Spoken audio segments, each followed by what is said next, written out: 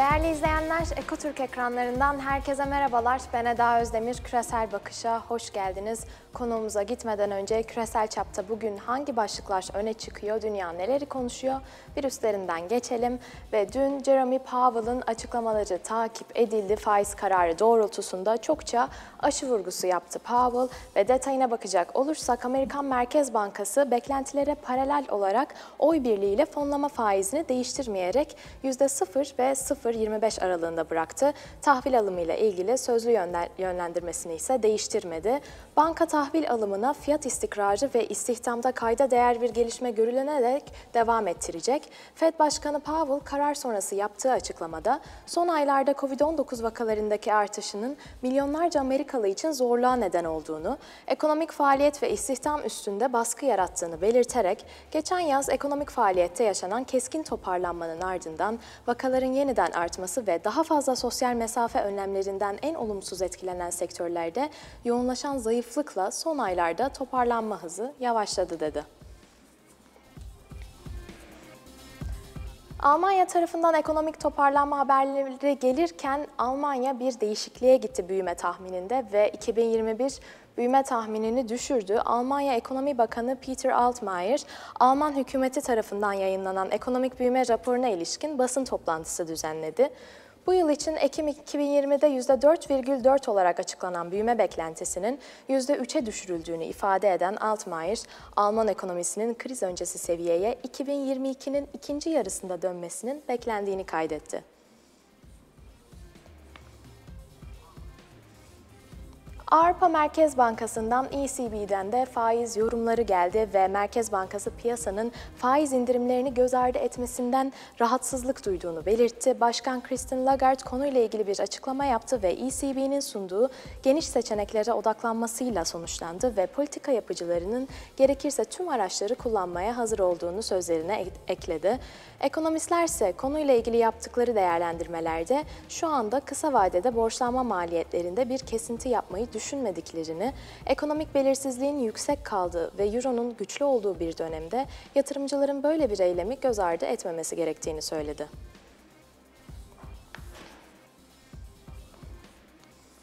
2020 yılındaki altın talebine bakacak olursak 11 yılın en düşük seviyesine indi global anlamda. Altın talebi ve Dünya Altın Konseyi 2020 yılının 4. çeyreğinde global altın talebinin 11 yılın en düşük seviyesine indiğini bildirdi. Türkiye ve Orta Doğu'nun altın talebi 2020 yılında Dünya Altın Konseyi'nin veri serisinde bugüne kadar görülen en düşük seviyeye indi. Dünya Altın Konseyi'nin verilerine göre global altın talebi 2020'nin 4. çeyreğinde %28 azalarak 2008 global finansal krizinden bu yana görülen en düşük seviye olan 733 dolar 733 e, tona düştü. 2020 yılının tamamında da altın talebi 2009 yılından bu yana ilk kez 4000 ton seviyesinin altına indi ve altın talebi %14 düşüşle 3759,6 ton seviyesinden gerçekleşti.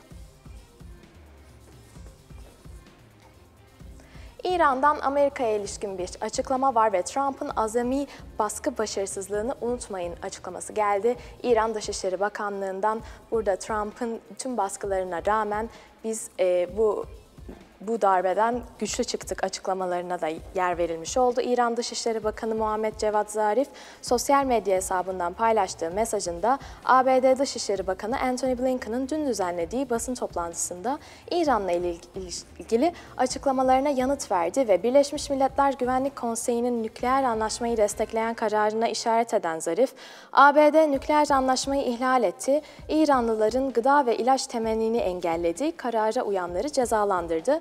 Bu karmaşa süresince İran anlaşmaya bağlı kaldı, yalnızca anlaşmayı düzeltici önlemler aldı. Şimdi kim ilk adımı atmalı, Trump'ın azami baskı başarısızlığını unutmayın ifadelerini kullandı.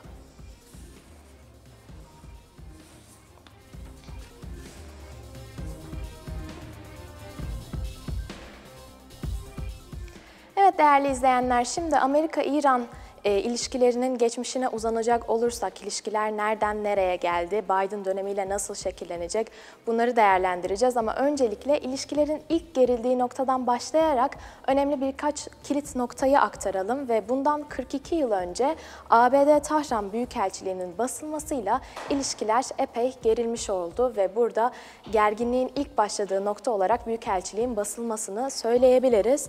42 yıl önce ABD'nin bu büyükelçiliği bas, e, basmasıyla ilişkiler bozuldu. Burada bir grup öğrenci rol aldı Amerika'nın e, Tah Tahran'da bulunan büyükelçiliğinin basılmasında ve daha sonra baskının liderlerinden biri de e, baskının kontrolden çıktığını ve pişman olduğunu açıkladı. Fakat ilişkiler ciddi anlamda zedelenmeye o noktada başladı. E, devamında bakacak olursak da Muhammed Musadık'a bir darbe gerçekleştirildi ve sonrasında ilişkiler bozularak devam etmeye e, devam etti. Sivil Nükleer İşbirliği Anlaşması imzalandı. 1967'ye geldiğimizde ABD İran'a nükleer re reaktör başlığını verdi. Sonrasında İran devrimi gerçekleşti ve baskının ardından Amerika bu önemli bir nokta İran'la diplomatik ilişkilerini kesti ve e, Büyükelçiliğin basılmasının ardından yazılı olarak da diplomatik ilişkilerin kesilmiş olması ülkeler arasındaki gerginliği daha da tırmandırdı. Devam edelim. 1984 ile ABD İran'ı terörü finanse eden ülkeler listesine aldı ve ilişkiler gerilmeye devam etti. 88'e geldiğimizde Amerika İran'a ait 290 kişiyi taşıyan bir uçağı vurdu ve bunun bir kaza olduğunu belirtti. 2002'ye geldiğimizde Amerika'nın 43. Başkanı Bush, Irak, İran ve Kuzey Kore'yi şeytan ekseni olarak tanımladı. Fakat sonrasında bir görevliyi İran'la e, nükleer anlaşma konusunda görüşmek için de Cenevre'deki toplantıya yolladı. Akabinde bir ilkede imza attı diyebiliriz. Devam edelim. 2009'la Amerika, İran ve Fransa İran'ın gizlice uranyumun zenginleştirdiğini açıkladı. Burada da İran'a bir e, baskı artırımı olduğunu söyleyebiliriz. Devamında 2013'e geldiğimizde Obama ile Ruhani telefon görüşmesi gerçekleştirdi ve Obama döneminde kısmi olarak daha yolunda ilişkilerin ilerlediğini söyleyebiliriz. Sonrasında Birleşmiş Milletler Güvenlik Konseyi 5 daimi üyesi ve Almanya İran'la nükleer anlaşma imzaladı ve bu anlaşmadan daha sonra Trump çekildi ve yaptırımları tekrar hayata geçireceğini açıkladı İran'a karşı. Baktığımızda 2020'nin ilk günlerinde de Amerika Kasım Süleymani'yi öldürdü. Burada bir suikast gerçekleşti ve ilişkiler iyice gerilmiş oldu. Trump'ın 2020'nin ilk günlerinde gerçekleştirilen suikasttan sonra bir senelik başkanlığı vardı. Şimdi Biden başa geldi. Amerika'nın 46. başkanı olarak ve burada İran'da Biden yönetiminin nükleer anlaşmaya tekrar dönmesini bekliyorlar. E, ilişkilerin daha iyi ilerlemesini umuyorlar ve düzelmesini de istiyorlar. Biz de şimdi detaylandırıyor olacağız konuğumuzla.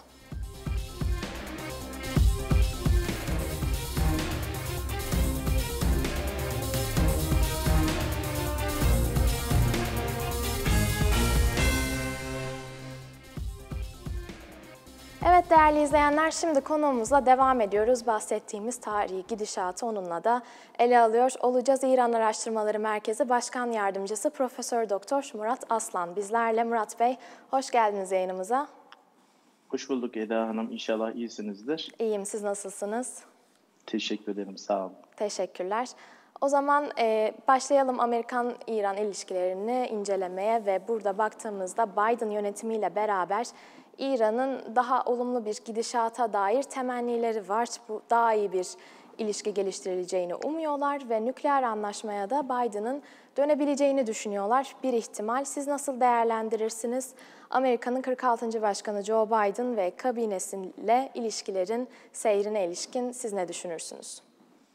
Şimdi bu şekilde e, biraz e, oldukça karmaşık ve dinamik e, gelişmeleri dikkate aldığımızda bu sorunun cevabını böyle evet veya hayır veya evet olumlu ya da olumsuz diyemezsiniz. Biraz önce söylediğim gibi sonuca etki eden bu kadar çok faktör ve bunların hepsinin birbiriyle etkileşim içinde olduğunu düşündüğümüzde hani Biden yönetimi doğrudan doğruya İran'a yeşil ışık yakar da diyemeyiz. E, ama e, en azından şunu e, belki söylemek lazım. Trump döneminde e, çok ciddi bir e, olumsuz yönde bir ezber vardı e, Tahran yönetimine ilişkin. E, dolayısıyla bunun bir miktar daha belki e, yumuşama e, yönünde değişikliğe uğrayacağını söyleyebiliriz. Şimdi bu ne demek e, onu da böyle biraz açmak lazım. Şimdi İran'ın bu nükleer faaliyetleriyle ilgili e, hakikaten dosya yaklaşık 2002'li 2003'lü yıllardan itibaren e, giderek artan bir ivmeyle e, İran'ın başını ağrıttı. 2006-2010 yılları e, arasında Birleşmiş Milletler'de İran'ın aleyhine e, yaklaşık 6 tane e, yaptırım yasası, e, yaptırım kararı çıktı Birleşmiş Milletler Güvenlik Konseyi'nde. Daha sonra Amerika yaptırımların e, sıkı bir şekilde uygulanması için e, ülkelere baskı yaptı ve e, e, nitekim e, buna binaen de Avrupa Birliği ülkelerinde yine İran'a yaptırım uygulaması ile ilgili 2011 yılında bir karar alıp bunu uygulamaya başladılar. 2012 yılından itibaren biz İran'ın bu e, yaptırımlar kapsamında hakikaten canının e, oldukça e, sıkıldığını ve e, bu çok yönlü e, yaptırımlar sebebiyle ekonomisinin kötüye doğru gittiğini gördük. Ruhani 2013 yılında e, Cumhurbaşkanlığına seçilmesiyle beraber e, Batı ülkeleriyle beraber e, masaya oturdu ve iki tarafta iyi niyetli olarak çeşitli e, cephelerde e, geri adım atma taahhütünü e, verip e, bir nükleer anlaşma imzaladılar. Buna kapsamlı ortak eylem planı şeklinde bir isim veriliyor. E, iki tarafın yani bu e, P5 e, artı 1 dediğimiz e, Birleşmiş Milletler Güvenlik Konseyi daimi üyeleriyle Almanya'nın dahil olduğu e, cephe ile İran arasında bir anlaşma imzalanıyor.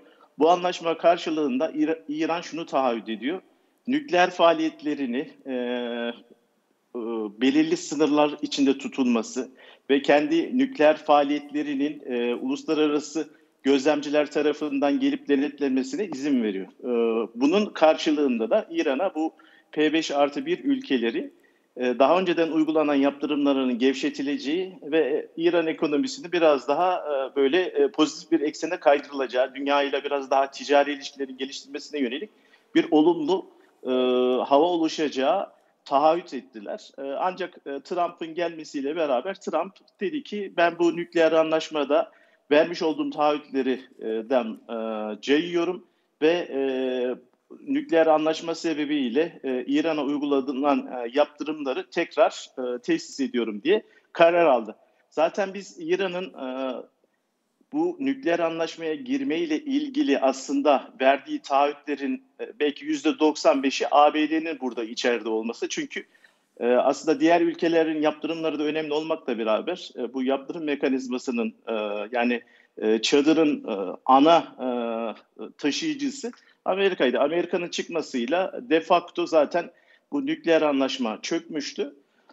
Trump döneminde işte bu e, nükleer anlaşmadan çıkılması ve e, AKP'nin de İran'a tekrar yaptırımların uygulanmasıyla beraber e, İran ekonomisinde hakikaten inanılmaz derecede bir kötüye gidiş e, başladı. Hı hı. E, buna bir de e, koronanın sebep olduğu kapanmalar sebebiyle e, İran ekonomisinin son 3 yılda kümülatif olarak söylüyorum milli gelirin yaklaşık %20 daraldığını gördük. Yani düşünün bir ülke düşünün ee, son 3 yılda hemen hemen e, milli gelirinin yüzde yani 5'te birini kaybetmiş durumda.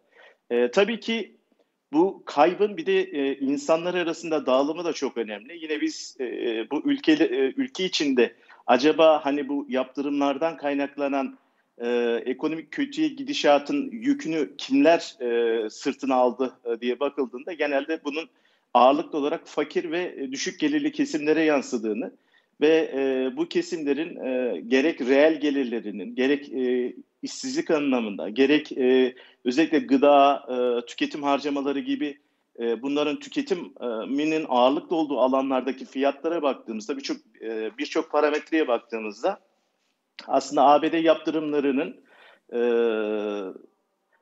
hedefi belki e, İran'ı biraz daha e, kabul edilebilir çerçevede bir anlaşmaya e, zorlamak olsa da aslında e, sonuç noktasında en çok zararın İran halkı tarafından çekildiğini görüyoruz.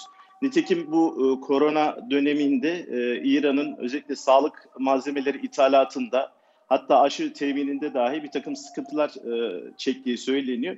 Dolayısıyla böyle bir arka planı verdikten sonra Biden döneminde neler olur? E, ya Biden e, zaten e, bu nükleer anlaşmanın imzalanmasında esas e, ana oyuncu olan e, Obama yönetiminin bir devamı gibi e, okunuyor dünya e, konjonktüründe, jeopolitiğinde. Hı hı. Dolayısıyla Biden'ın muhtemelen e, Trump kadar e, sert bir tutum izlemeyeceğine yönelik e, bir takım e, ne diyeyim e, değerlendirmeler var. Ancak şöyle bir şey var. Yani Amerikan siz devlet aygıtını sadece kişilere odaklayamazsınız.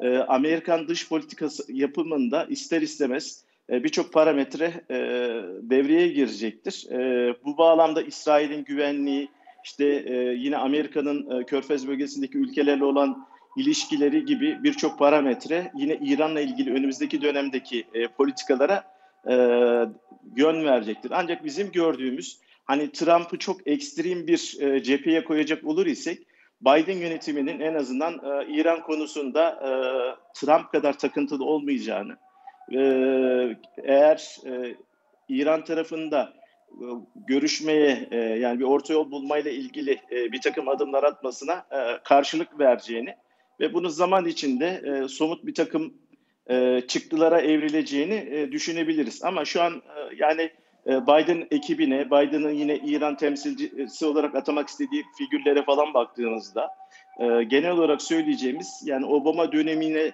paralel bir durum olabilir. Ancak şöyle de bir şey var. İran'ın e, bu kadar zayıf, e, bu kadar sıkıntılar içinde olduğu bir dönemde Amerikan devleti yani devlet aklının İran'la yapılacak görüşmelerde doğrudan doğruya nükleer anlaşmaya eskisi gibi dönmek yerine İran'dan birazcık daha e, belki ödün koparma yoluna e, gidebilir. Bunun karşılığında İran'a peyderpey yaptırımları yumuşatmak suretiyle ekonomik alanda biraz önü açılabilir ama Amerikan yönetiminin kayıtsız şartsız İran'ın her dediğini kabul edecek gibi bir algı, İranlar böyle bir algı çizmeye çalışıyorlar ama bunun da çok doğru olmadığını düşünüyorum. Murat Bey bir de İran ekonomisine ve özellikle petrol ihracatına bakacak olursak Mesela petrol ihracatı son 8 çeyrektir daralma yaşıyordu ama 2023. ve 4. çeyrek verilerine baktığımızda pozitif.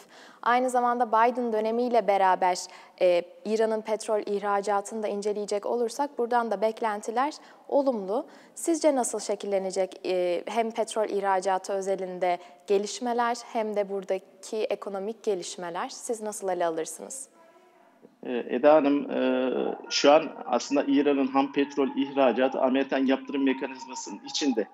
E, dolayısıyla Amerika e, şunu söylüyor, İran'la siz ham petrol satın alır iseniz yaptırım kapsamına girersiniz diye bir tehdidi var zaten. Hı hı. Bu tehditlere rağmen geçtiğimiz yıl İran'ın günlük ortalama petrol ihracatının, ham petrol ihracatının yaklaşık 200-300 e, bin varillere kadar düştüğü, bakın yaptırımlara rağmen belli bir miktar satıldığı söyleniyor. Hı hı. Ancak son 5-6 aydır e, bizim gözlemlediğimiz yaptırımların devam etmesi ve Trump'ın hala iktidarda olmasına rağmen e, özellikle bu Covid'in sebep olduğu Amerika'daki sorunları da dikkate alan çevrelerin muhtemelen bir Biden değişikliğini öngörmeleriyle beraber ABD'nin yaptırım sisteminin hala yürürlükte olmasına rağmen yavaş yavaş ABD'ye rağmen İran'dan petrol e, satın almayı arttırdıklarını, e, ithal etmeye e, artış yönünde bir eğilime girdiklerini görüyoruz.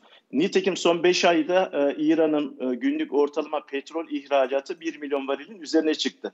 Bakın geçtiğimiz sene bu zamanlarda 300-400 bin varili zor satıyordu. 1 milyona çıktı. Şimdi Trump, e, Biden yönetimi Trump kadar e, bu işte haşin olmayacağını, hani en azından İran'ın e, belli bir miktar yurt dışına tırnak içinde söylüyorum kaçak yolları kullanaraktan petrol ihraç etmesiyle ilgili olarak belki çok sert bir şekilde denetimde bulunmayacağını düşündüğümüzde yani ona bir nevi göz yumarak veya sesini çıkartmayarak izin vereceğini söyleyebiliriz. Dolayısıyla İran için aslında en kritik e, petrol satış miktarı 1 milyon varil. E, bizim yaklaşık olarak yapmış olduğumuz tahminlere göre İran eğer 1 milyon varilin üzerinde petrol satarsa hani yine tırnak içinde söylüyorum çorba kaynıyor e, İran'da. devletin ihtiyaç duyduğu gelirler, işte e, ekonominin dönmesi için en az 1 milyon varil e, petrol satması gerekiyor. Buna zaten başladı. Muhtemelen Biden döneminde de 1 milyonun üzerinde 1-1,5 milyon varil arasında eğer petrol satışına devam ederse e, dediğim gibi e, geçtiğimiz 2-2,5 e, yıldır e, sırtındaki bu ağır yükün e, bayağı bir hafifleyeceğini söyleyebiliriz. Dolayısıyla bu e, taraflar e, o, pazarlık masasına otururken İran eskisi kadar e, ağır bir yükü yok. E, Biden tarafı da en azından e, diplomatik kanallarının e, kullanılaraktan İran'la bir orta yolu bulunacağına yönelik bir e, sinyal göndermiş olur. E, muhtemelen İran'dan e, belki çok geniş kapsamlı olmasa da bazı alanlarda bir miktar daha ödün almak için e, Amerika bastırabilir ama e, dediğim gibi bu söylediğimiz adımların gerçekleşmesi öyle 2-3 ay değil de e, en azından 1-1,5 yıl gibi bir zaman alacağını söyleyebiliriz. Murat Bey bir de bu çerçeveye diğer ulusları katacak olursak örneğin Türkiye, Rusya, İran ilişkilerini değerlendirdiğimizde buradaki diyaloğun, diyalog güçlenmesinin Amerika tarafından nasıl karşılanacağını söyleyebiliriz. Burada Dışişleri Bakanlığı için Antony Blinken da onaylandı. Ee, Amerika'da şimdi dışişlerini yürütecek ekibin bu buradaki bu üçgene nasıl bakacağını söyleyebiliriz. Burada e, bu diyaloğun kuvvetlenmesi negatif karşılanır mı? Uluslararası ilişkiler boyutunda nasıl değerlendirirsiniz İran'ın konumunu ve e, burada denkleme Türkiye'yi de kattığımızda? Evet, Amerika'nın yeni yönetimi e, e, biraz önce de söylediğim gibi biraz daha Obama'nın duruşuna yakın bir pozisyon alacağı söyleniyor.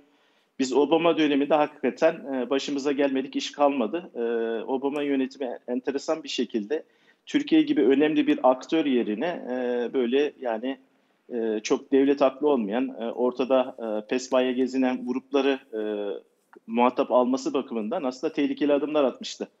E, biz e, Biden'ın bu kadar yani Obama gibi her şeye de alan açan, e, her şeye göz kırpan bir e, dış politika izleyeceğini en azından ummuyoruz, e, umut etmiyoruz diyelim. E, yine e, Trump'la karşılaştığımızda Biden'ın e, Rusya'ya da e, tavrının Trump'a göre daha farklı olacağını görüyoruz. Şimdi e, Trump yönetiminin çok enteresan bir yönü vardı. Trump hakikaten bir yeni bir e, yol açmak istiyordu ve bu yola belki kendisi kadar çok inanmış insan olmadığı için birçok şeyi kendi kişisel ilişkileriyle yürütmeye çalışıyordu. Ancak e, Amerika'nın yerleşmiş e, devlet düzeni e, bu Trump'la kendi başına e, bu şekilde kararlar almasında çok sıcak bakmıyordu. Muhtemelen önümüzdeki dönemde biz biraz daha Biden'ın bu devletin yerleşmiş düzeniyle e, koordineli olarak hareket edeceğini ve Rusya e, çok uzun süredir bu yerleşmiş düzenle e, belirli alanlarda işbirliği yapsa da genelde Rusya'yı öbürü e, gibi e, tanımlar. Nitekim burada denklemin içinde siz Çin'i de koymanız gerekiyor. Çin'le Pakistan arasında geçtiğimiz dönem yıllarda e, yakınlaşmayı dikkate aldığımızda Çin'le Amerikan arasında he, he, e, bir güç mücadelesi de dikkate aldığımızda aslında hakikaten önümüzdeki 4-5 yılda e, biz Biden yönetiminin bu e, çok eksenli, çok katmanlı, dinamik süreçleri yönetmesinde e, pragmatik bir yol ile belki Türkiye'yi e, Obama dönemindeki gibi tamamıyla göz ardı edeceği bir ülke olmayacağı e, kanaatine varacağımızı düşünüyorum. Dolayısıyla Orta Doğu denkleminde hakikaten e, siz Türkiye'siz e, öyle çok kolay e, kafanıza göre at oynatamazsınız. E, bunu Biden yönetiminin inşallah e, anlayacağını umut ediyoruz. Evet Murat Bey, çok teşekkür ediyorum değerlendirmeleriniz için. E, ben teşekkür ederim, iyi yayınlar diliyorum. Sağ olun. Değerli izleyenler, burada noktalıyoruz küresel bakışı İran Araştırmaları Merkezi Başkan Yardımcısı Profesör Doktor Murat Aslan bizlerleydi. İran-Amerika ilişkilerini ve küresel boyuttaki ülkelerin konumlarını, beklentileri değerlendirdik. Kısa bir ara ardından Stüdyo Londra ile tekrar sizlerleyiz.